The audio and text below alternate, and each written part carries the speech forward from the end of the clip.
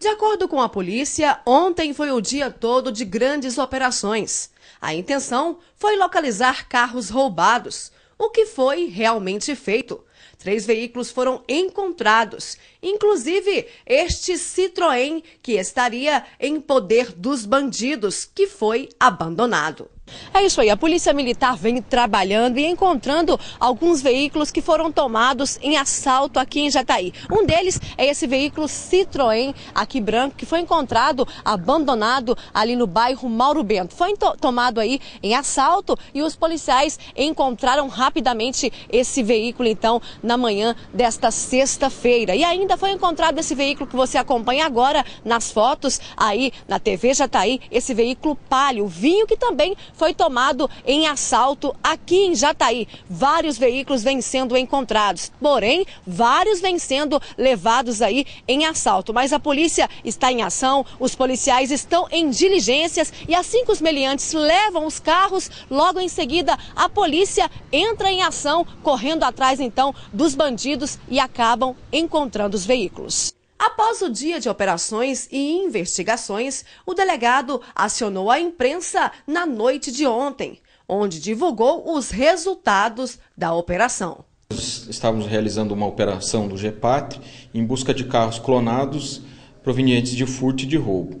Ontem nós recebemos a informação que tinha acontecido um roubo numa residência no setor sul e os autores dos assaltantes tinham chego para fazer o, o, roubo em uma caminhonete SW4, uma Toyota Hilux SW4 de cor bege.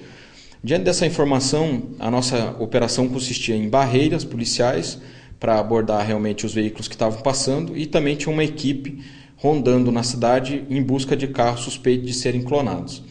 Mais ou menos no meio da manhã nós recebemos uma informação que tinha uma caminhonete dessa parada na rua Riachuelo com, a, com as mesmas características na que tinha sido utilizada pelos assaltantes no roubo.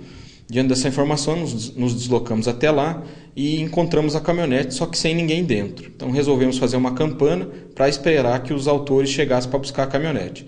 Passados mais ou menos uns 10 minutos, nós continuamos rodando atrás deles. Passados uns 10 minutos, a equipe que estava lá fazendo a campana verificou eles se, se aproximando e a hora que eles se aproximaram com a chave na mão, fizemos a abordagem. Constatamos que realmente essa caminhonete era produto de furto lá em Chapadão do Sul, no Mato Grosso do Sul. E após a prisão deles, no primeiro momento já, um deles já confessou que tinha feito o furto e o, um, dos, um dos envolvidos era um menor e aí abriu todo o jogo, contou que realmente eles tinham feito o roubo na noite anterior, dando detalhes disso e revelando onde estava um, um dos veículos que tinha sido roubado lá na casa dessa vítima, lá no setor sul. Ele foi conosco numa viatura e indicou o local, que era passando lá o Lago Bom Sucesso, num canavial, eles esconderam a caminhonete lá numa rodovia. Agora foram encontrados três indivíduos, né, doutor? Há, possi há possibilidade de ter outras pessoas envolvidas? Assim, é, nesse roubo eram quatro elementos que fizeram esse roubo. Então, nós estamos ainda investigando a participação de mais um elemento. E agora, como ficam os procedimentos aqui na delegacia? Eles foram autuados em flagrante. Os dois maiores foram autuados por corrupção de menores, o artigo 244b do Estatuto da Criança e do Adolescente, e por roubo qualificado, pelo emprego de arma e pelo concurso de duas ou mais pessoas. Delegado, esses, esses assaltantes podem estar envolvidos com outros tipos de crimes? A suspeita é que eles, por, pelo histórico, também, como já tem passagem, um, é, os dois têm passagem por tráfico, pode estar envolvido também com o tráfico de drogas e outros roubos também ocorridos nas cidades com, com o mesmo modus operandi. As investigações sobre esse caso ainda continuam?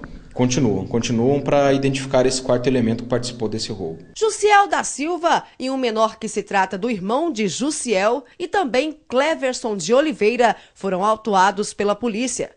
O delegado continua investigando o caso, pois acredita que muitas outras pessoas podem estar envolvidas nesta grande quadrilha de roubo de carros.